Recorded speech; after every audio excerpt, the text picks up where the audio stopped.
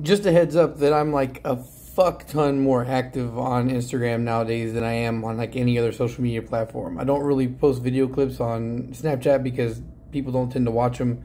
Um, I don't really talk too much on Facebook unless I have like a lengthy post I need to make.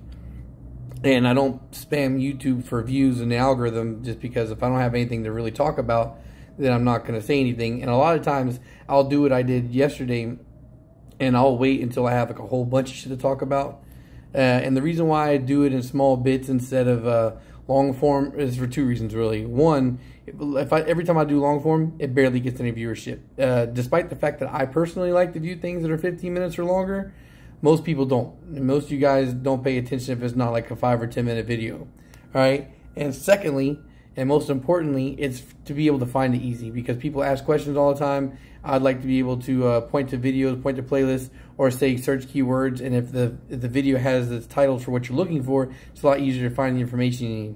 So um, uh, if you want to keep the up to date with a lot of things, because there's there's things that pop up in my YouTube comments all the time, the things that I've already addressed and talked about in Instagram, but it's just like a one or two, you know, like a small thing, something I can't make a video out of.